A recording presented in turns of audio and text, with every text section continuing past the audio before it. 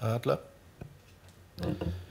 Ich habe noch mal eine Frage, was das jetzt für die Kultur bedeutet. Also wenn man jetzt sagt, dass 650 Menschen sich in einem geschlossenen Raum aufhalten dürfen, ähm, dürfen die dann, weiß ich nicht, jetzt im Foyer oder im, im, im Saal des Schauspielhauses nebeneinander sitzen? Oder wie ist Nein, das, dazu gibt es eben? Schutzkonzepte. Wir hatten ja die Regeln an den Anfang gestellt und wenn Sie jetzt diese verschiedenen Größenordnungen sehen, 1000 im Freien, 650 in äh, geschlossenen Räumen, dann nehmen wir mal die Elbphilharmonie, die hat über 2000 Plätze.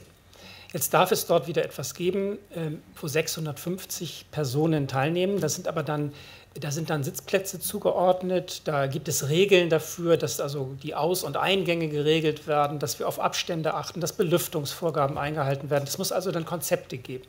Das heißt, diese verschiedenen Veranstaltungskategorien, 1000, 650, 200, 100, feste Sitzplätze oder nicht, Alkohol oder nicht, steht immer äh, sozusagen als, als Regel dass dann entsprechende Vorkehrungen auch getroffen werden, die man eben für den privaten Bereich, das wäre die, die Wohnungsfrage von eben ja nicht hat. Da sagen wir nur, wir empfehlen alle, allen weiter darauf, darauf zu achten.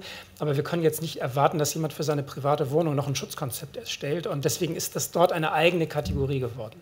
Aber bei diesen großen Veranstaltungen, wo wir wirklich einen Schritt gehen, 650, das ist dann ein Konzertsaal, das kann ein Schauspielhaus sein, da wird man Konzepte brauchen, wie die Menschen dort rein, wie sie wieder rauskommen. Da wird sichergestellt sein, dass die Belüftung ausreichend ist und ähnliches. Herr Fischer? Äh, Was bedeutet denn, äh, zum einen äh, habe ich noch mal eine Nachfrage zur Kultur, aber eben auch für Sportveranstaltungen in der Stadt. Also Herr Broster hatte ja gesagt, diese neuen Lockerungen müssten ein aktives Geschehen